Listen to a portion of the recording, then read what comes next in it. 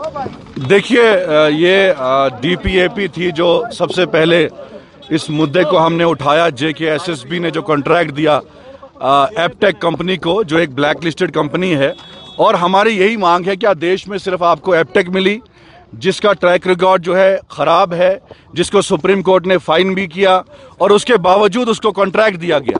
तो इसलिए हम आज यहाँ श्रीनगर में इन जेके एसएसबी के एस्पिरेंट्स के साथ हैं, इनको ये मैसेज देना चाहते हैं कि अकेले नहीं हैं।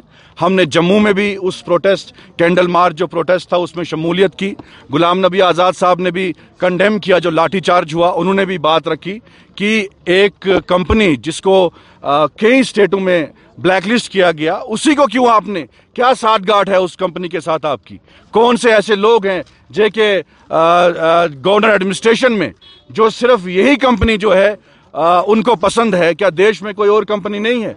हम कहते हैं कि जिस कंपनी का टैक रिकॉर्ड जो है साफ़ है उसको कॉन्ट्रैक्ट दीजिए। फ़िलहाल एग्ज़ाम पोस्टपोन करिए क्योंकि हर पार्टी जो है आ, सामने आई है। उन्होंने ये कहा है इवन कि बीजेपी के कई नेताओं ने कहा है कि ये कंपनी जो है एक ब्लैक लिस्टेड कंपनी है। और हमारे जो जम्मू कश्मीर में आठ साल से लोग परेशान हैं खासकर जो यूथ है वो सड़कों पे उतरा है। और जो रोज़गार नहीं मिल रहा आज यही प्रधानमंत्री जो हमारे नरेंद्र मोदी जी हैं वो कहते थे जम्मू कश्मीर के नौजवानों के हाथ में कलम होना चाहिए, बंदूकें नहीं और लाठियाँ नहीं होनी चाहिए।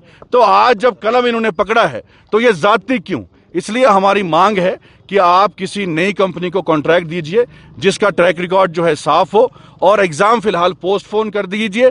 कोई इमरजेंसी नहीं है, क्या मजबूरी है आपकी कि देश में सिर्फ़ आपको एपटेक मिली है? इसलिए आज हम प्रोटेस्ट में शामिल हुए और इनके साथ। देखा है कि पूरे रियासत जम्मू कश्मीर में नौजवान जो अनएम्प्लॉयमेंट यूथ है, श्रीनगर में भी धरना है और जम्मू में भी धरना है। धरना क्यों देते हैं ये लोग? जो एपटेक कंपनी है, राजस्थान गवर्नमेंट ने और मध्य प्रदेश ने उसको ब्लैक लिस्ट किया है, और भी कुछ गवर्नमेंटों ने उसको ब्लैक लिस्ट किया है। इसको क्यों जम्मू कश्मीर दिया गया है?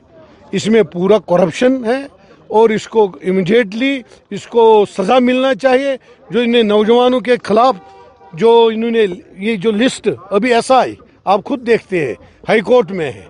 हाईकोर्ट को क्या है इसके साथ? लिहाजा इसको एक्शन होनी चाहिए। इसको जेल में भरना चाहिए, क्योंकि जो इनसे, इसने नौजवानों के साथ यहाँ खिलवाड़ किया है।